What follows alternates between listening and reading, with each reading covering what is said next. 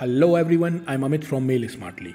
Today in this video, I will walk you through step by step method how to pop out all emails replies by default in Outlook.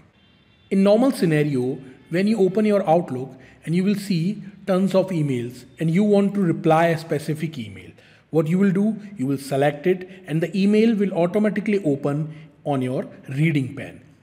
Your reading pen consists of few options which is you can reply from here, you can reply all, and you can forward this email. Apart from here, you can also check out these options under Home tab and here in the Response section. You will get reply, reply all and forward. So I will show you if I click on reply. My reading pen automatically convert my mail into a reply section. Here you can change or add some additional information. You can add your content and simply hit send button. You can also click here to reply also. I will show you when I click here also, the same email will convert here and I can compose my own email, edit the email or add some additional information and simply hit send button.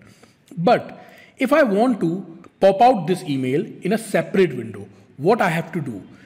It's easy you only have to double click on it. As soon as I double click on it, my email will be opened in a separate window. And you can again click reply, reply all and forward from here as well as from here also. But, but there is a backend setting you can change and in future when you click on this email and from the reading pen, you can simply click here and the same email will be opened in a separate window. So go to the File tab. From the bottom, click Options. From the left navigation section, click Mail. So scroll down a little bit.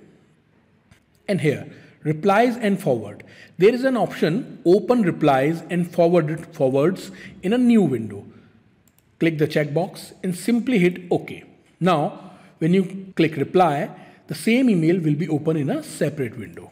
Now you have two options to open the mail in a separate window. First is you can simply hit the reply, reply all and forward and double click on it and the mail will be open in a separate window.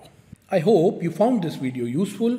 Also, if you like this video, don't forget to like and subscribe this YouTube channel and also click on the bell icon so you will never miss out any Outlook tips and problem solvers videos I come up with. Thank you and have a nice day.